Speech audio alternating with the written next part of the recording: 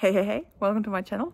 My name is Poola and today I'll take you along to the Metzingen designer outlet here in Germany. And according to their website or according to the internet, I think this is the biggest designer outlet in Germany. So let's see how it goes. I will film as much as possible. I have no idea how they're gonna react on filming in stores, but I will do my best. So hope you enjoy and uh, let's go. This vlog is gonna be filmed in two parts. First is whatever I will have managed, whatever I will have time to film today because the outlet is gonna close in a bit over an hour. And then tomorrow morning I will continue. The reason for this is that we're on a road trip in Europe. We arrived in this place tonight and then I'm gonna continue tomorrow. Our accommodation was super close to the outlet, maybe like five minute walk, but that was also the purpose so that we can easily visit the outlet well on both days. We actually also left our car uh, to our accommodation because I think the parking here maybe costs something. I'm not entirely certain, so don't quote me on that, but I feel like that's that something I read from somewhere. The layout of the outlet city or whatever we want to call it was interesting. Uh, maybe I'm just used to outlet being more like in one area, that all the stores are in one area and you just like wander around. But this was kind of divided into different sectors and there were actually like cars allowed to drive inside the outlet. So maybe that is because this is so big that it just wasn't possible to fit into one area. Probably the roads were already existing before the outlet came here, but just so you know that this actually is humongous and um, there are also cars driving inside, inside the outlet. But uh, here we are, just some kind of overview of everything. We can see Valentino popping up and uh, I actually did go inside. They had really pretty stuff, more like also the newer things with these like I don't know, newer logos and such. They also did have some uh, some older things as well and, and to be honest I'm not that familiar with Valentino to say what would actually be maybe outlet made and what not because I just I'm sorry I'm not that familiar with it but I'm pretty sure there were also maybe some outlet specific things in here such as this wallet on chain 680 euros, no mentioning of uh, like actual retail price or anything, but for a Valentino WOC, I think less than 700 euros might actually be a pretty good deal. They had the classic colors, the like really lovely nude blush shade and so on. Here we have the, I don't know, newer Rockstud style. 470 euros. Well, I mean, if the original price was almost close to 800, then that's maybe a good good price. But yeah, they did also have the old style Rockstuds in here. And I have to say, this bag was really, really cute. Uh, I don't know, I'm kind of getting more warmer into these fabric styles as well. But um, yeah, moving on to Versace. And I have to say that I, probably the best deals were here, at least based on the luxury stores I visited while at the outlet.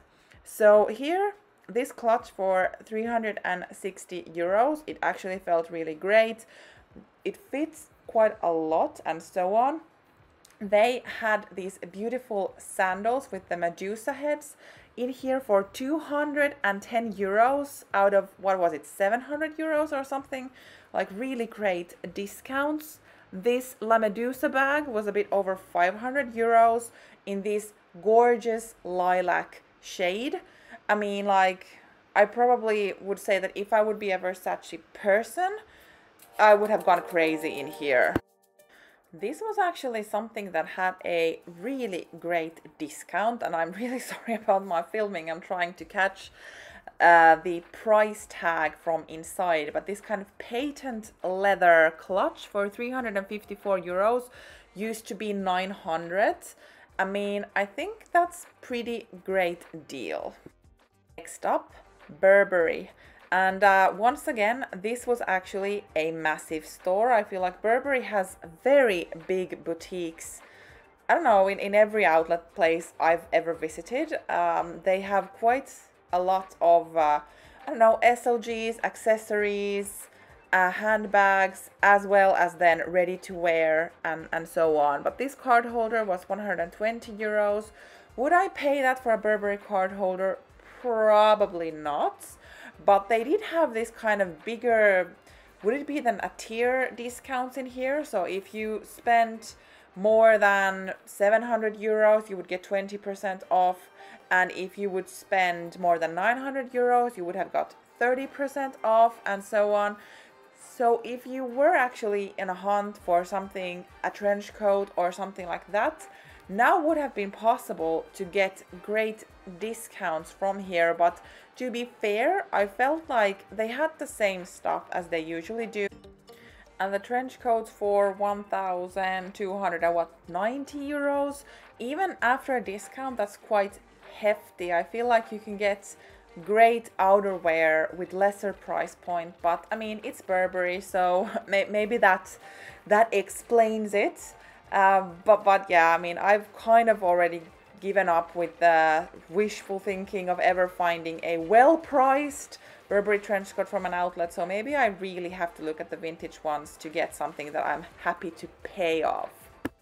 Next up, Jimmy Choo. I love Jimmy Choo and usually in designer outlets they have this one wall that has these like major discounted shoes and um, I don't know they are just Jimmy Choo fits so well into my foot sadly they are usually quite expensive for my budget so I don't really rarely purchase them new from the boutique but I always check the outlets because they do have amazing deals in here sometimes at least and this boutique had the discounted wall as well, this is usually a place where it's possible to make great deals, but they don't necessarily have that many sizes left. So if they have your size, great, but um, it can be a hit or a miss. But they did have these Bing shoes. I didn't know that they had already arrived to the outlets because I felt like that was, I don't know, some kind of hit not that long ago but maybe it is because of the colors were quite bright and, and specific and so on but uh, they did have those shoes in here which was great if you are after some kind of uh, I don't know Bing mule moment would it even be a designer outlet without Gucci? Because I feel like they have quite a big line for outlet ready-made uh, items that have never been in the boutique. Sadly, they did not allow to film in the store at all. So I just took this one photo of what it looked like, but I went very quickly in through it. And uh, I mean, if you like Gucci, of course, then it's great. But otherwise, uh, I don't think there was anything new to be mentioned. Here, I was on my way to Prada, but they were even stricter with the filming. I hadn't even opened my camera when I was just having it in my hand when I went in and then a security guard started following me around and checking my phone if the screen was turned off. So I just was like, no thank you. Moving on to Ferragamo. Uh, they had this really nice, I feel like, uh, wallet on chain type of thing. And uh, in this lovely navy shade, 450 euros. I feel like that's also quite good price for a wallet on chain considering how much they cost from the boutiques.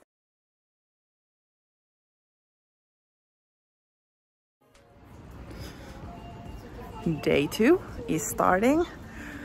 Let's see what we can find today.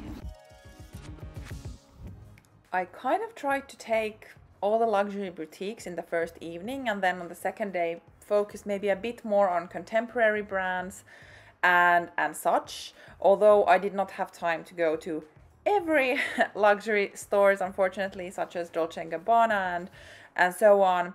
But uh, still i feel like i i got the chance to see all that i needed to.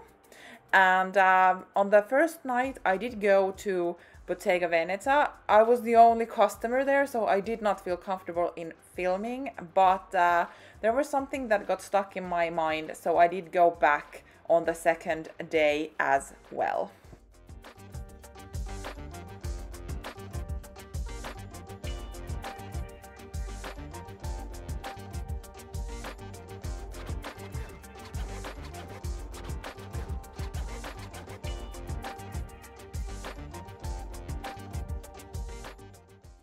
I had to go to Aigner because when in Germany, kind of looking at German brands for sure, I'm not that familiar with this brand, or I think that is not so available here where I live, but I think they have some really cute styles. So I wanted to check it out if there would be a nice, I don't know, souvenir to to buy home. But they had really pretty pretty things, I have to say, but still for this clutch, for instance, 260 euros wasn't maybe something I was looking after, but this bag on the other hand would have been 139. I feel like that's a great price for a crossbody bag. So there would have been some amazing deals, but I guess also maybe some more like newer items that were not so heavily discounted. But for sure, there was a lovely sale going on at Aigner. And while we were on the German brand kick here, I am in MCM. I have to be honest, their aesthetics is not really something I really am drawn to.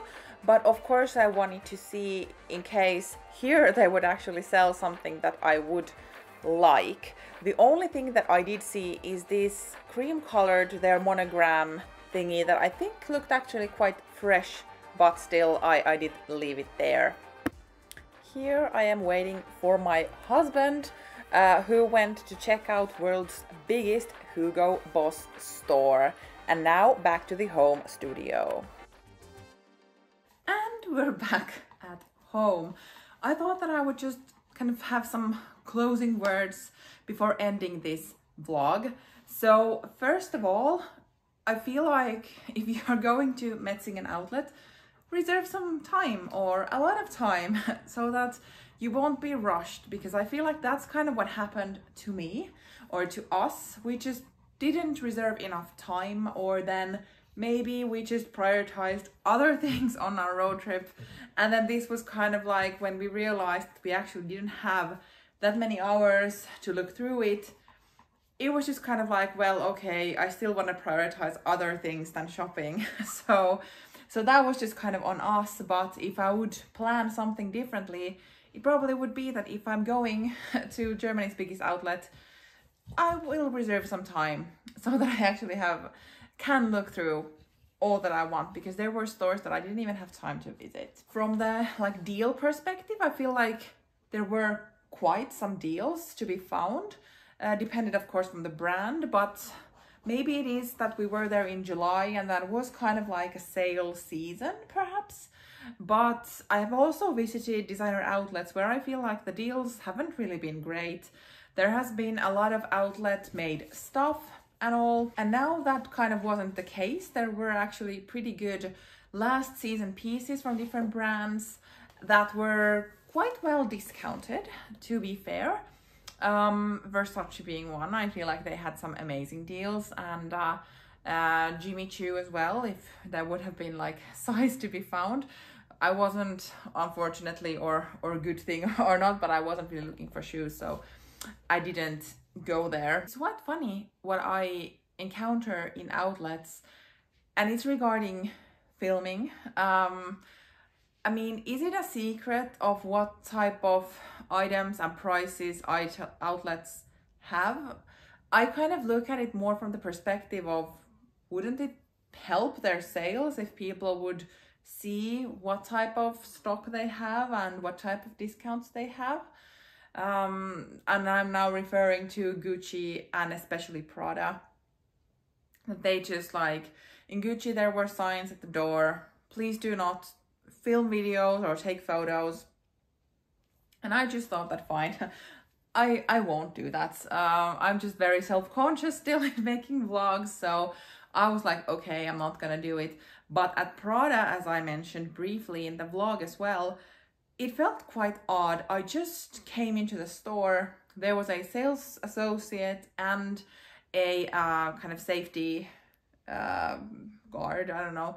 And um, and I just I had my phone in my hand. It, it was like the screen was locked. I wasn't filming. I, I didn't know yet what I would want to do either. So I just had my phone in my hand and I noticed that the security guard kind of started going around me and then stopping once they saw behind me basically and I noticed that they were looking down and as my phone was in my hand so they were looking at my phone and because my screen was locked, they then returned to the sales associates and they continued their conversation.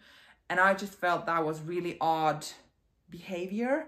Uh, so I just thought that I'm not gonna even try to film film anything in there because I didn't really feel feel good, I guess.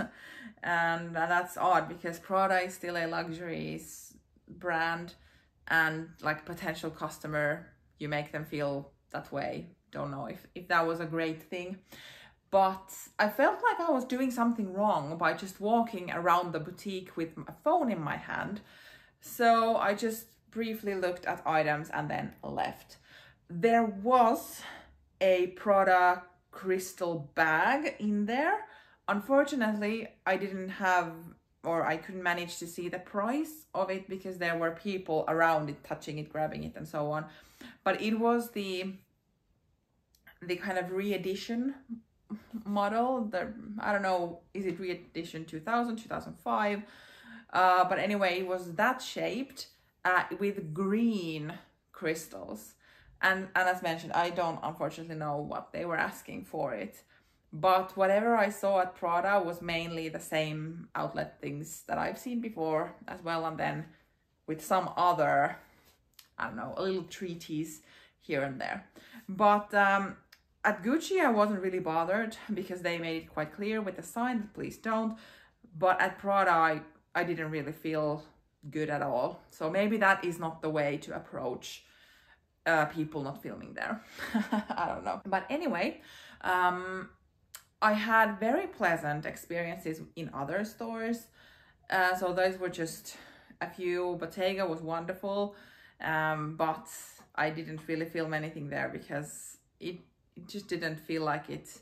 When I was visiting there the first time, I was the only customer and I'm assuming the staff was quite bored because they were not following me around, but they were kind of keeping at a short distance in case I would have any questions. So I just didn't want to film anything but they did have one Jodie bag. I think it was in the teen size, but it looked odd. Like it wasn't, I don't know if it was even leather. And yeah, it was like these type of odd creatures that haven't been sold, I guess.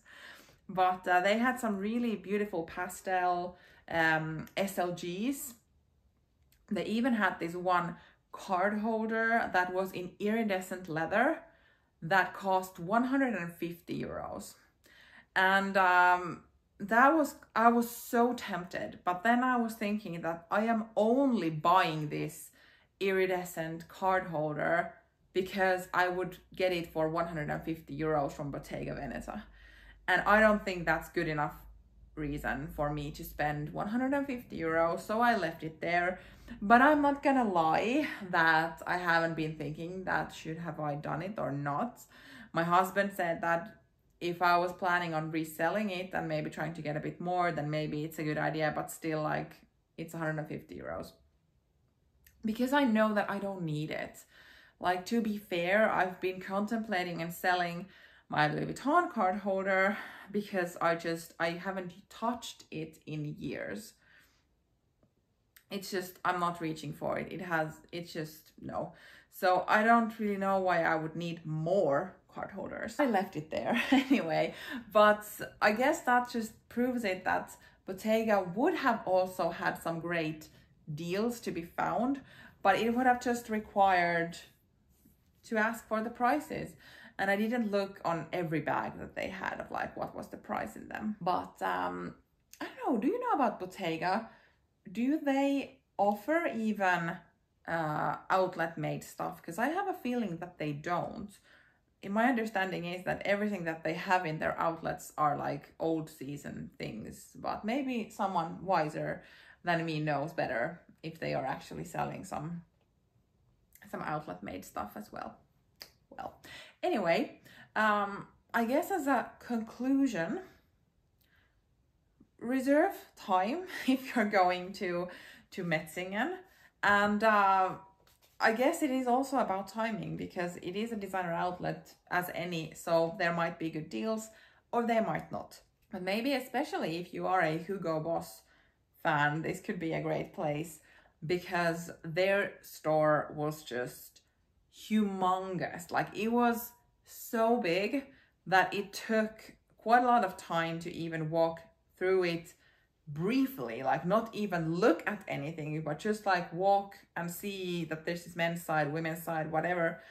Uh, it was just, I don't, I don't know, too big for me to even take uh, in control. So I just, I don't know, I spent there maybe five minutes and then I thought that, okay, I just, I don't have time to start actually looking at anything, uh, which is a shame, of course. Uh, then my husband also went, went and looked, but I did see some price tags over there. So there could be some great deals to be found if you would be a Hugo Boss fan. But I guess that would be it. I did do a bit of shopping uh, while we were there and uh, in my next video I will share with you what I purchased from Metzingen outlet and um, yeah I guess that's kind of what I wanted to share about my experience to that outlet. Have you ever been there? Let's share our thoughts in the comments below. Thank you for watching. See you in my next video. Bye.